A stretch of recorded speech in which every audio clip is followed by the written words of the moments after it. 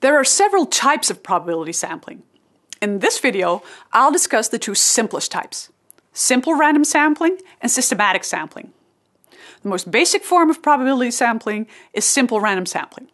In simple random sampling, each element in the sampling frame has an equal and independent probability of being included in the sample. Independent means the selection of any single element does not depend on another element being selected first. In other words, every possible combination of elements is equally likely to be sampled. Systematic sampling is a related method, aimed to obtain a random sample also. In systematic sampling, only the first element is selected using a random number. The other elements are selected by systematically skipping a certain number of elements. Suppose we want to sample the quality of cat food on an assembly line. A random number gives us a starting point, say the seventh bag.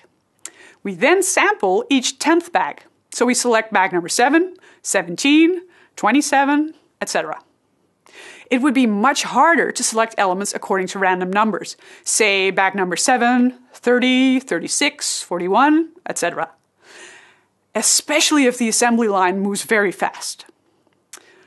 With this approach, each element has an equal probability of being selected, but the probabilities are no longer independent.